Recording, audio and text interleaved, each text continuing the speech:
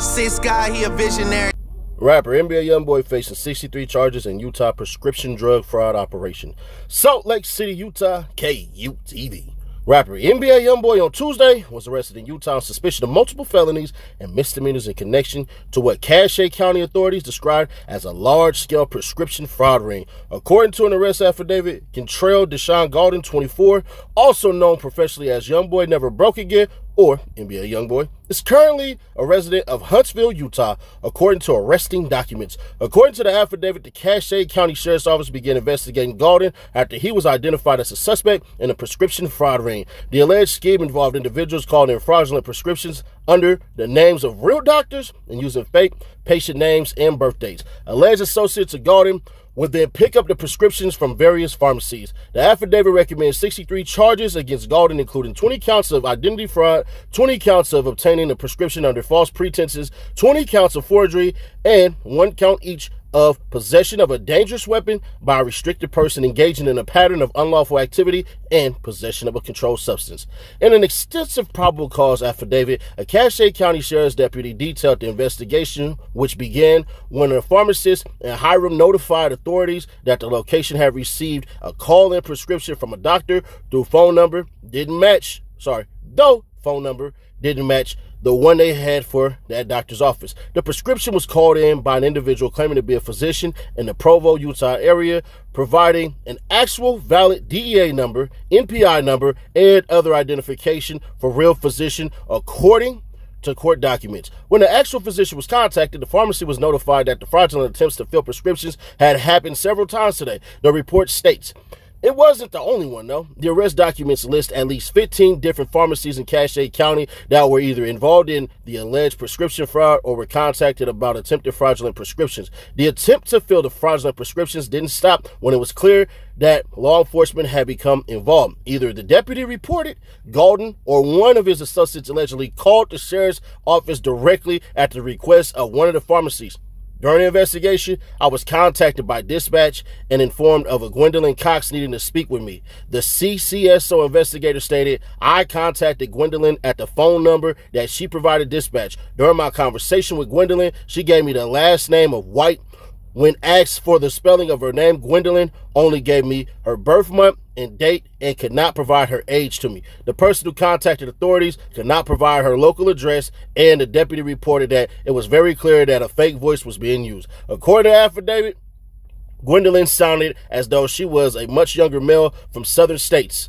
Gwendolyn made a statement, Well, I asked her to, and she did, that she'll have you call me. The statement was a response to a request that was made to have Gwendolyn contact dispatch and have them transfer her call back through. I have lived in southern United States. The terminology replacing the word ask with ax or other variations is consistent with a southern dialect in such I mean in states such as Texas, Louisiana, Georgia, and other southern states. During the course of the investigation, multiple additional arrests were made when Gaulden's vehicle was identified as being allegedly involved in a fraudulent prescription pickup and was pulled over. The occupants were arrested and marijuana, a weapon, multiple bottles of prescriptions were reportedly found inside. Gaulden though, wasn't. The reporting deputy was able to make contact with him later via conference call, according to court records, at which time Gaulden said the people in the vehicle were his family and they had permission to use it. The conversation continued with Kentrell Gaulden for a duration of time, and Kentrell Gaulden made a statement determined to be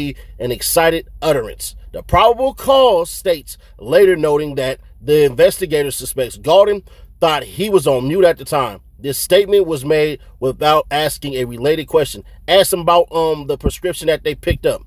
This utterance was made with no questions asked regarding any prescriptions being picked up throughout the call, throughout the phone call, pardon me. According to the report, the utterance shows both knowledge by Kentrell Gaulden about the fraudulent prescription being attempted to get picked up. Investigators obtained a search warrant for his home where they found more prescriptions and weapons. His electronics were also seized, but Gaulden reportedly refused to provide passcodes, telling the reported deputy Take it and break it, according to the report. The affidavit alleges the rising rap star and YouTube sensation was no stranger to criminal activity. Kentrell Gaulden has participated in an ongoing criminal enterprise that has been involved in the commission of multiple felonies. Kentrell has been involved in the alleged enterprise while under house arrest and being supervised by federal probation under pretrial status for a fire, I mean, federal firearms case being prosecuted out of Louisiana.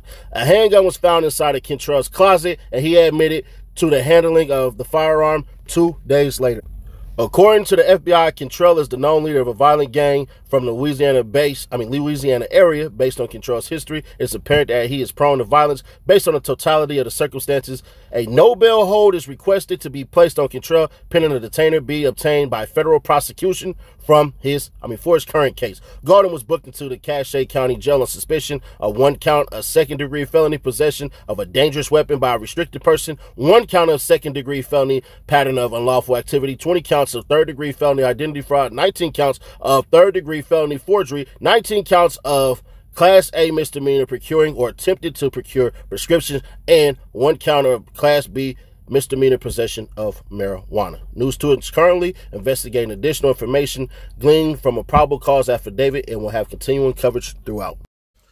Well, Kentrell, it's bad. And in all candor, it's more than likely over. Forgery, prescription pills, you having a gun in your closet. It's one of those things where it's like, we can give you the tools to survive, but we know you're going to collide. When you give them what they want, they don't know what they don't. Meaning, that nigga was done, bruh, the moment that he got comfortable. The moment he got comfortable, it was over.